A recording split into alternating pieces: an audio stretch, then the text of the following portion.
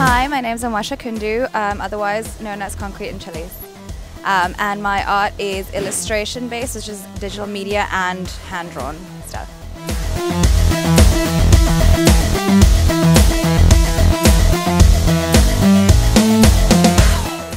I've always literally been inter interested in painting and art since I was a little child.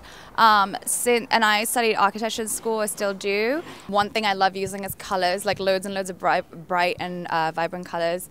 And um, I tend to, it's funny, my art is a lot of, it's like people based. Um, I think because I spend a lot of my time uh, usually like drawing like buildings and houses and things like that, especially for school. It's for me, it's a really cool uh, um, outlet to draw something more organic, which is like people. The best part is like when I'm stressed out and when I get anxiety, like that's the one, my one outlet.